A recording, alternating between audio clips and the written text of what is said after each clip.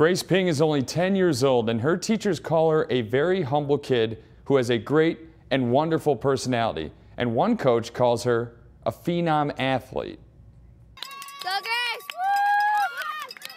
At St. Stan's in Winona, Grace Ping is a standout student. Oh, Grace is um, every teacher's dream. She's an A student. She gets along with everyone. Um, we just love her here. But it wasn't in the classroom where the 10 year old Ping made a name for herself. It was at a St. Mary's University track and field meet with one goal in mind To, to set the world record.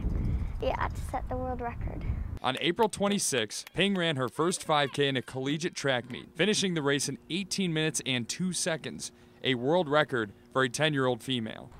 It feels really good and it kind of tells me that if I keep running like that, I can be on track to be an Olympic runner.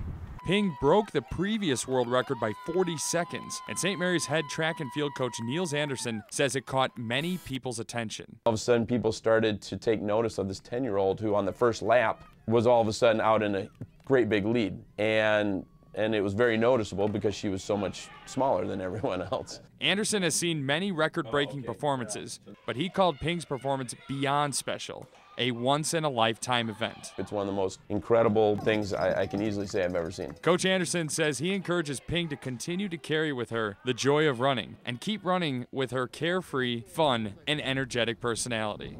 Coach Anderson says he believes Ping has the talent to be a world-class runner and says she is definitely a future Division One talent.